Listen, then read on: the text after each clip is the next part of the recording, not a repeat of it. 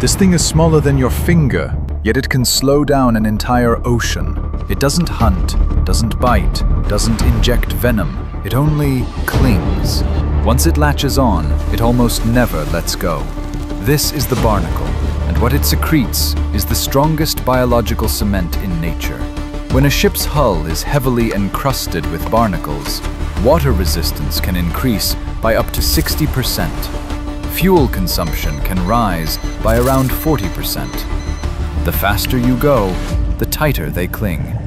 Every nautical mile becomes money draining away. On whales, barnacles are a burden.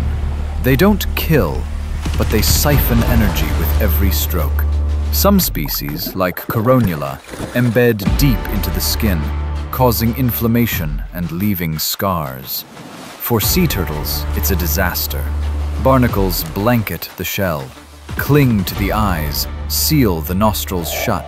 The turtle slows, then collapses from exhaustion. It doesn't kill you right away. It just stays there forever. Barnacles, the most terrifying hitchhikers in the ocean.